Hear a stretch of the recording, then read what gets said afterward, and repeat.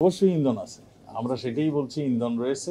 আমরা যেগুলোকে ভিডিও ফুটেজের মাধ্যমে পাচ্ছি এগুলি সবগুলি প্রায়গুলি বিএনপি অ্যাক্টিভিস্ট গার্মেন্টস এখন আমাদের কাছে যা তথ্য আছে এই গার্মেন্টস আমাদের মাননীয় প্রধানমন্ত্রী একবার প্রায় তেষট্টি পার্সেন্ট তাই না?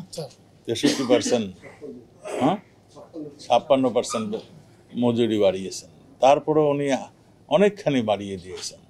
এবারও গার্মেন্টসের বিজিএমের ব্যবসায়ীরা সব একত্রে বসে আমাদের শ্রম মন্ত্রণালয়ের পরামর্শ অনুযায়ী তারা বেতন এই এই বেতন বৃদ্ধি করেছেন আট হাজার থেকে সাড়ে বারো। হাজার। এবারও যথেষ্ট পরিমাণ বাড়িয়েছেন।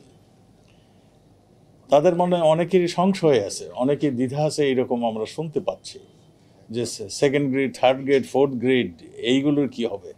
এগুলি নিশ্চয়ই আমাদের আমাদের যেই গার্মেন্টসের যারা নাকি মালিক পক্ষ তারা নিশ্চয়ই, তারাও তো ব্যবসা বাণিজ্য করবেন। তারা এগুলি সব কিছুরই সমাধান করবেন। এই সমাধান করার ক্ষেত্রটি আগুন না। সমাধান করার ক্ষেত্রটি ভাঙচুর নয়। সমাধান ক্ষেত্রের এই রাস্তা অবরোধ করা নয়।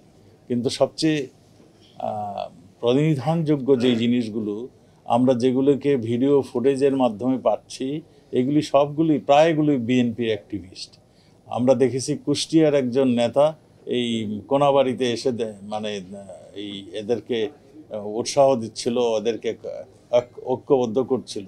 এই রকম বিভিন্ন সালে যেগুলি আমাদের ক্যামেরাবন্দি হয়েছে এবং যাদেরকে আমরা ধরতে পেরেছি, তারা সবগুলি বিএনপির অ্যাক্টিভিস্ট বলে আমরা এখন পর্যন্ত আমাদের কাছে যে তথ্য, সেই তথ্য অনুযায়ী আছে। এরাই এই নিরীহ শ্রমিকদেরকে এরা উস্কিয়ে দিচ্ছেন, তাদেরকে দিয়ে তাদের মানে জড়ো করছেন।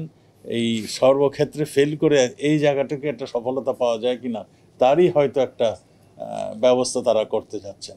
তা আমি মনে করি যে এই আট হাজার থেকে দশ হাজার ছয়শো করেছেন। আরও যদি তাদের কিছু দাবি থাকতো শ্রমিকদের, শ্রমিকরা বিজেএমের নেতাদের সঙ্গে বসে সেইগুলি ফয়সলা করার সবসময় তাদের মানে উপযুক্ত একটা অবস্থান থাকে সেইটি না করে তারা এই করলে নিজেদেরও যেমন ক্ষতি হয় দেশেরও ক্ষতি হচ্ছে এটা তাদের চিন্তা করা উচিত। থ্যাংক ইউ তার মানে গার্মেন্টসের সাথে আন্দোলনের চলমান আছে যেটা ঢুকে গেছে এবং ইন্ধন আছে। অবশ্যই ইন্ধন আছে। আমরা সেটাই বলছি ইন্ধন রয়েছে এবং সেই ইন্ধন থাকার তাদের আমরা সেটাই বলতে চাচ্ছি। Thank you